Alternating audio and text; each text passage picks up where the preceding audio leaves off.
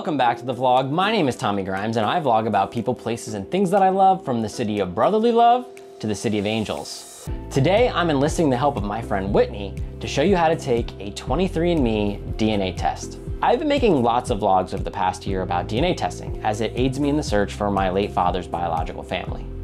But there's definitely a lot more to it than that. I've made a few vlogs about the backstory and I'll be making a documentary series about it going forward. So stay tuned for more on that. All right, let's get started. Here we go.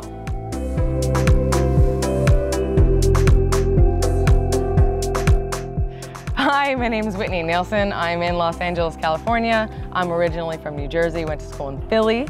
Uh, I'm out here acting. I've been an actress out here for about 11 years now. Uh, it's going strong, I love it. I have a film coming out called Behemoth. It's a really dark horror movie, really scary, uh, not for the faint at heart. It should be coming out pretty soon. We're actually looking for distribution. So if you or anyone knows uh, someone would be a good fit for a nice horror movie, just go to behemothfilm.com and hit them up. You can also contact me at Little Hoagie on Instagram or just Whitney Nielsen on Facebook. and what's in this box? Uh, what's in the box? You'll find your instructions, tube, funnel with a lid, cap, and seal bag. Make sure you don't puncture the film on the funnel lid. Step one, you can either download the 23andMe app and get instructions there, or go to 23andme.com slash start. There, you'll register your kit with the barcode. It's a good idea to write the number down or take a picture of it just in case. Step two, don't eat, drink, chew gum, brush your teeth, or smoke for at least 30 minutes before you take your test.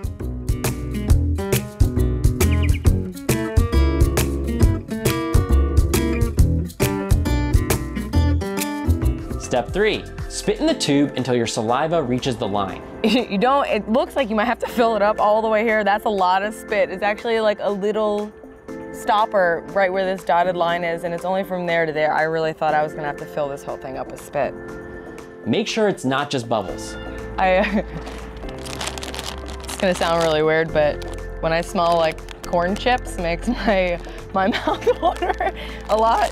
So I figured maybe it would help me fill up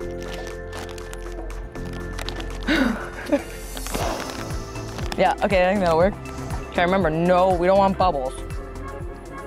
Mm. This feels so wrong. Okay, that's like not a lot of spit. Okay.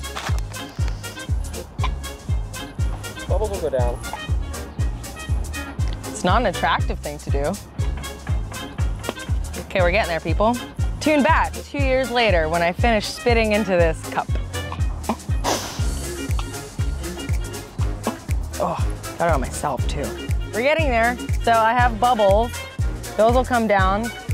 Bubbles are to the fill line, but we want actual quality spit. So we're gonna keep, we're gonna keep on going. Let's give it a little, break up those bubbles.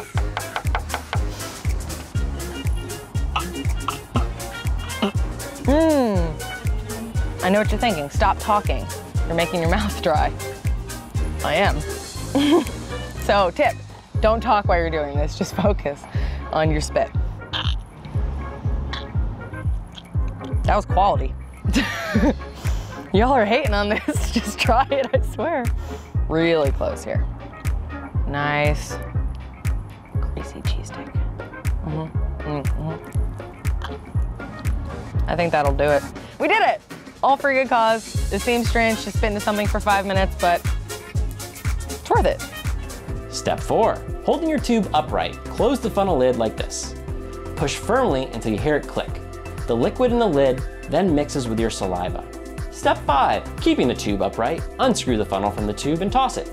Screw on the cap to seal the tube and shake it for five seconds.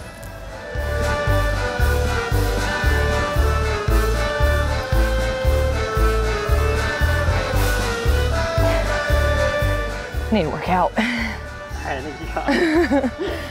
and I got spit too.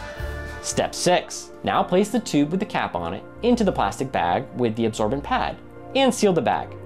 Don't take the absorbent pad out of the bag. That stays in there. Sealed.